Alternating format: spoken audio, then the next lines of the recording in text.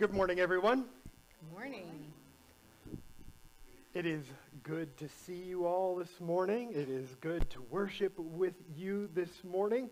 There are uh, a couple of things that I need to uh, make you aware of this morning.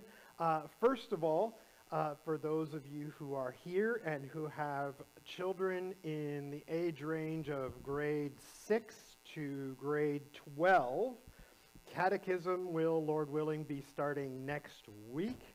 So, uh, please, it is important, come to Catechism. Yes, looking at you.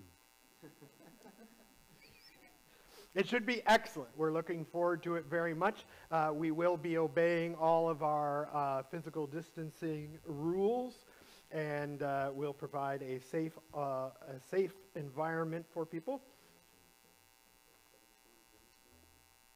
We are also still looking for a GEMS counselor, so if you, or two, a GEMS counselor or two, so if you can talk to Cole about that, he can direct you to the proper uh, people to talk with. So if you are feeling a tug on your heart to be a GEMS counselor, uh, it's, uh, or if you don't even know what a GEMS counselor is, you can talk to Cole and he can fill you in on that. Also, wanted to make sure that you were aware that um, Pete Harmsma, who passed away this past week, um, the uh, visitation for uh, Pete will be uh, from 2 to 4 and 7 to 9 tomorrow at Judson's here in town.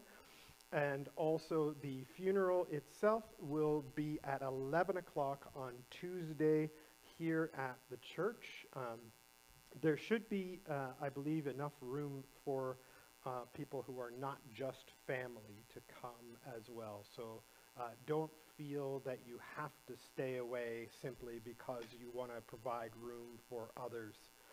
Also, uh, wanted to remind you that today we are having a special offering for Haiti and for uh, World Renew for all of those who are struggling with the, uh, the devastation and effects uh, of weather and all that uh, there. And so please uh, prayerfully consider your giving for that.